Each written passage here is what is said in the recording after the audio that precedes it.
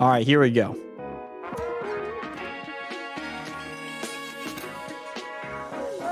Have you ever been on a trip to a gallery with a jockey inside of it? Their big, gigantic flesh is all, all over the place. Like, what the crud's going on? But I got you something a ballot. That's right, a ballot distributor. That's right. You can turn that jockey into an oak of difficulty to brush off. That's right. You can go crazy stuff. But don't believe this, right? We have an indoor service. Don't be misled by this. That's right. It will deteriorate your votes right inside the political stands. That's right. Do you want to go bald? Well, that's the equivalent of destroying all votes in the system. That's right. Your audience is going to make it a wonderful addition to this operational voting scam.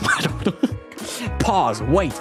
Unlike that, unlike real voting, consider this, right?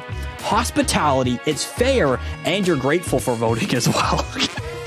Get a grip on your gears and move an inch forward with this new wonderful ladder that's called the ear flax. What the crud's an ear flax? I don't freaking know. But I'll tell you this right now. There's a steam rolling over the horizon. It's the seasonal cart blue season. That's right. Are you do you have a blue cart? Is your shopping cart blue? If it's not, you're using an affected shopping cart. That's right, that shopping cart is not going to get you any Volpolts. I'll tell you that, homie, right now. But don't hesitate. There's a circumstance you have to brainstorm about. That's right. Gasp. Breathe right now. Chairs.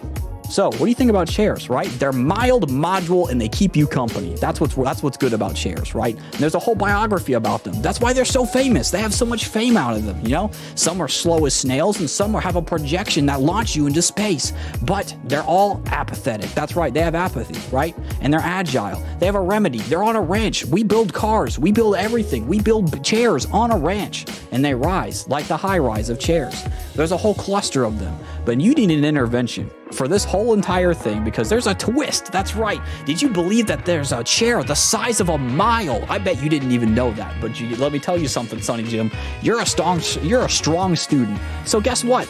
We're going to throw the right kind of charity at you. That's right. We have a chart and society that tells us right now, no joke, that you, yes, you, get a deal, a discount from your professor saying he's going to sentence you to a suspect. In other words, the kids say sus. That's right. You are going to play Among Us with your professor. And if you can reach the union in their sacred kind of style, in their hierarchy, in their integrated x ray machine, you can widen their, your country settlement today. Hope you enjoyed that. Hope you enjoyed that, homies.